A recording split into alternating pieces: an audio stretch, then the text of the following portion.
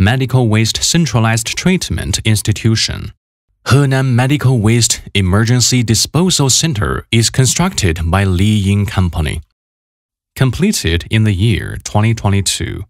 Equipped with 20 mobile medical waste disposal vehicles, one microwave disinfection system, having the ability to process 120 tons of medical waste per day and annually over 40,000 tons.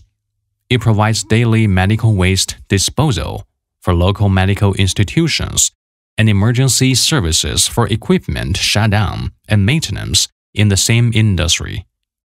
In event of epidemic or major disaster, the medical waste emergency disposal services are also supplied nationwide. With 19 centralized treatment centers construction and operation experiences, we are ready to service you.